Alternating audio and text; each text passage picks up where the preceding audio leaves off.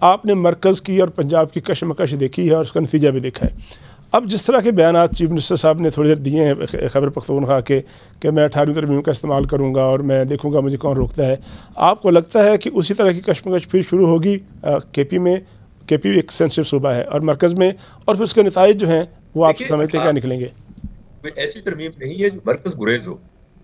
اٹھارہویں ترمیم جوڑتی ہے صوبوں کو مرکز کے ساتھ کوئی خدا نخواستہ صوبوں کو توڑتی نہیں ہے۔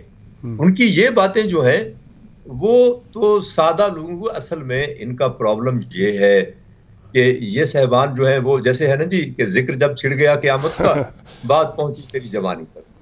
بات معیشت کی ہو رہی ہوتی ہے بات کچھ حقوق کی ہو رہی ہوتی ہے اور یہ اس قدر ٹینشن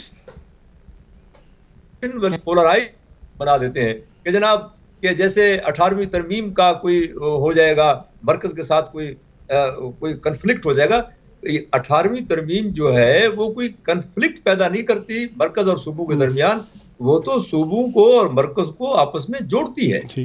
وہ تو صوبوں کو باختیار ضرور بناتی ہے کہ وہ این ایف سی ایوارڈ آپ کو کوئی کشمکش نظر نہیں آ رہی مرکز اور کے پی میں آنے والے دنوں میں؟ ہے کشمکش۔ کشمکش جو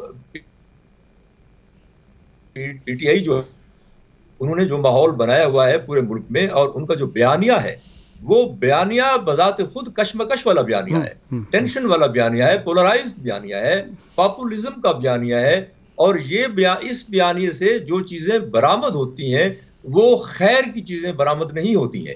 اس لیے ان کو غور کرنا چاہیے اور جس طرح ریاست پاکستان مسائل کا شکار ہے ان مسائل سے نکلنے کے لیے سب کو جڑ کے بیٹھنا چاہیے تاکہ لوگوں میں خوشحالی آ جائے ٹھیک ہے ہم بریک لینی ہے اور بریک کے بعد اپنی گفتگو کا سلسلہ اپنے مہمانوں کے ساتھ۔